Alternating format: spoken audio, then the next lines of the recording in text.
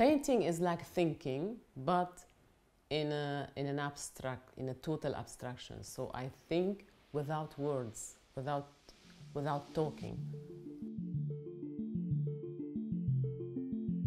When I first studied, I was young, very young, uh, 14, 15, 16, something like that. I uh, studied the old masters' works and I used to read about each artist, uh, like Rembrandt is one of them, and learn from it and copied the painting in the same technique that he did it. And uh, I haven't done anything with old masters since then until uh, this exhibition and this is a totally new experience to me, to get inspired by this kind of work and to, to do my own version of it. I waited for each painting to call me. And uh, we walked through the gallery a couple of times and I immediately chosen four, five or six paintings to get inspired by.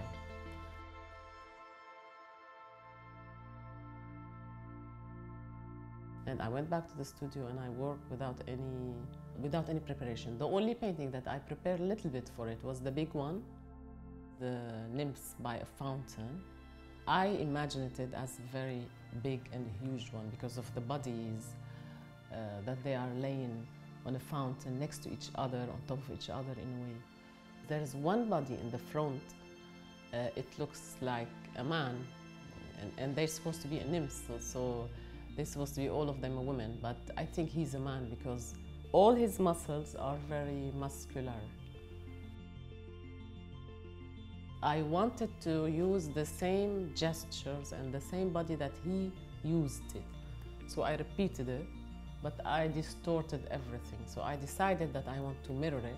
Then when I work, everything was uh, kind of improvisation. I just spread many colors or more, all the color that I have on, on my palette and just start to work without any decision what color I want to use. It's kind of meditation, instinctive meditation. So it's, it comes like that. That's how I feel when I paint. Girl by the window, it's very nice. It's really uh, suggests many things. Not only a girl relaxing by a window. It could be a maid. It could be uh, a girl that escaped this moment or maybe boring life to, to imagine something. So it has depth in it. Music, poetry, uh, painting, any kind of art. It should do this to me. It need to move me. Uh, it should have this kind of depth.